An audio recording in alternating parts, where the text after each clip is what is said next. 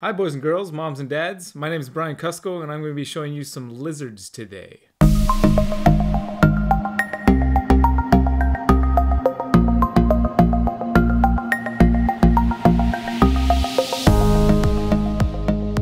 Again, I'm Brian Kusko. I'm here with Roaming Reptiles, and just before we get started, I wanted to let you know this video was made in partnership with the County of San Luis Obispo Public Library and for the foundation of the San Luis Obispo Public Library.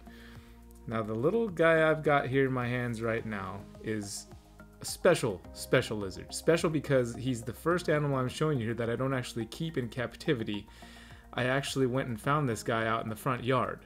So, those of you here in SLO County, and these guys are actually native to a wide range of California, as well as even up in Oregon and some other places. But this is a, a western fence lizard, and they're also known as bluebellies commonly because of the little whoa don't lose him in the room because that beautiful blue colored belly that they have and notice there's also some yellow markings down by the legs which are also common but you can really see that that blue belly on the sides that's kind of shining through there and that's where these guys get their common name. Now, Western fence lizard is also a common name, but, but blue belly blue belly is kind of a pet name that I think these guys get. I've caught blue bellies and western fence lizards, whatever you want to call them, most of my life, and I've caught literally hundreds of them at this point. But for whatever reason, when it was time for me to go and find one for a video, when I had a specific purpose for finding one other than just for fun to catch one and hold it and to actually film it and make a video with this guy, I, it took me literally two days to catch one of these things, which is unheard of. I've never had such a hard time catching a, a blue belly lizard in my entire life. And not only did I have a hard time just catching one and finding one. In the process, there's a log down at the bottom of our driveway, and I lifted it up, and it had been turned into a uh, wasp nest. So I got stung right on the end of my wrist, and then wasps chased me. I was running up my driveway, and, and they were chasing me around the car. So it was quite adventure to find this little uh, little lizard for you guys, which he is little. These guys will actually get. I would consider him a juvenile. He can easily reach two, maybe even three times on the larger end of, of this size right here. And woo, and I don't want to, and he's a little squirmy, so I'm trying to be gentle with him. And I also want to make sure that I don't grab him by his tail. Because as you may have learned in previous videos, which, if you haven't watched all the other videos we've put out for the library yet, I highly recommend you go back to the beginning and start at the beginning and watch each one because we talk about different details about cold blooded creatures along the way. And I can tell on this guy's tail, which you can see he's shedding a little bit here. Um, this part of his tail looks much different than the rest of his tail, and that's because this guy, even at his juvenile age, has already lost his tail, which is a defense mechanism we've talked about with other lizards before.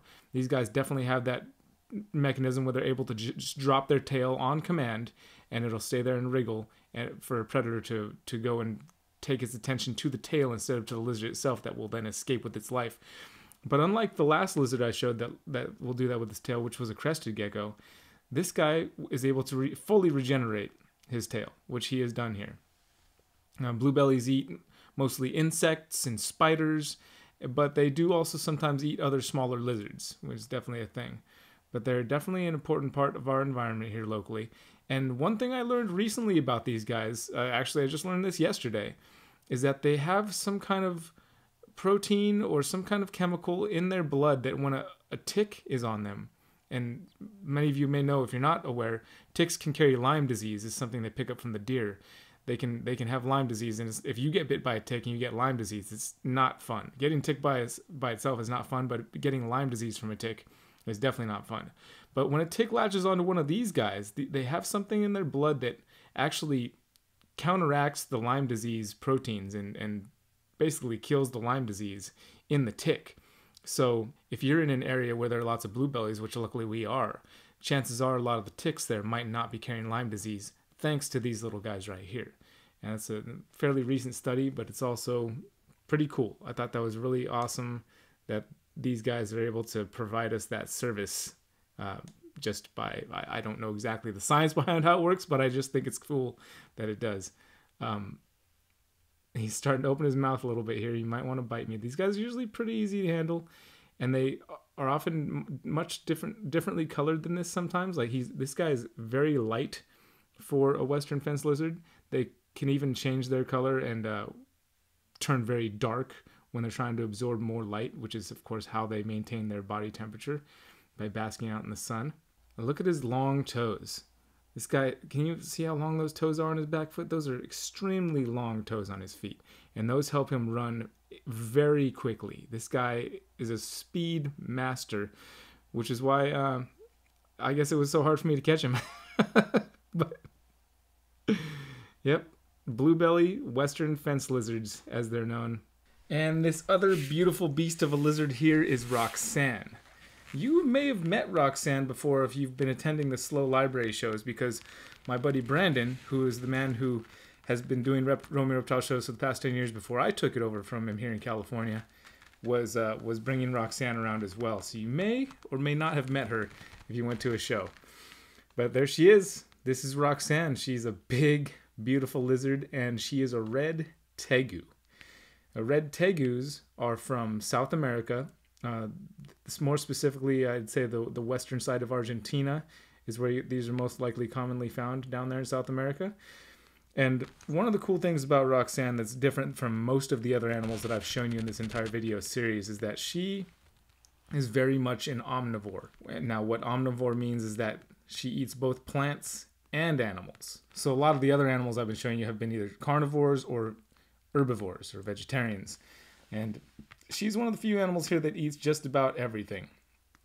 We feed her bananas, blueberries, uh, mice, rats, she will eat just about anything. It's kind of cool. And she's more of a terrestrial lizard, whereas that western fence lizard would definitely climb up some trees to get away from stuff. Um, I'm not going to say that Roxanne couldn't climb a tree, but she likely wouldn't. And even if she did try, it'd probably be very awkward for her. These are a much more terrestrial lizard, which terrestrial means they spend most of their time on the ground and digging burrows. And it's interesting, she has a fairly large face here, but and so there was times when I was questioning if she was actually a she because the males will get these huge giant face cheeks, which she kind of has a little bit, but she came here as a female, so we refer to her as a female, and those those face those big chubby cheeks on the side here, they're not as big as some males can definitely get. So we're just gonna call her Roxanne, the female red tegu. Now Roxanne is full grown here. She's probably around eight to ten years old and weighing around 15 pounds or so. I'm gonna let her crawl by here and you'll see she's a much slower moving lizard than that blue belly lizard was. That blue belly lizard would have been gone 20 times already. Roxanne's much more slow moving and uh, they are diurnal, which means that they're out during the day. And she really likes to go bask in the sunlight and, and take little sun baths. So we bring her outside on these nice warm days and let her chill out in the sun and these are very docile lizards, so they're fairly popular in the pet trade because when they're babies, they're actually much smaller. They're maybe like this big, and they're very active and they, they run around. But once they get older like this, they slow down, and if, especially if you take some time working with them, they become very friendly and very easy to easy to handle lizards. And very cool to see that big tongue flicking out there. It's just like a snake tongue, the big forked tongue going out there and um, smelling the air. And you can see how this is kind of an example of how she is terrestrial. She's not really comfortable up in there, here in the air. She really wants to be on the ground, with belly on the ground, crawling around. Makes her a lot more comfortable. One of Roxanne's best defenses, aside from a mouthful of teeth, first thing she'll likely use before the teeth is this big, giant, strong tail. If she's feeling threatened, these guys will often whip with their tail, and if you get hit with that tail, it's pretty powerful. It's a, it's a strong whip, and it's not something you wanna you wanna have happen. I hope you guys have been enjoying these videos so far. We've got a few more of them in this series to go for with you.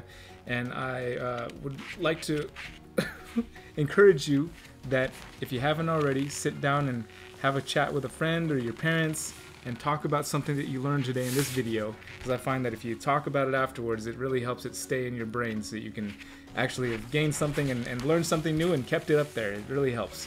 I highly encourage you to do that. Thank you guys for watching. Uh, we'll be back with another video shortly. You guys have a great day.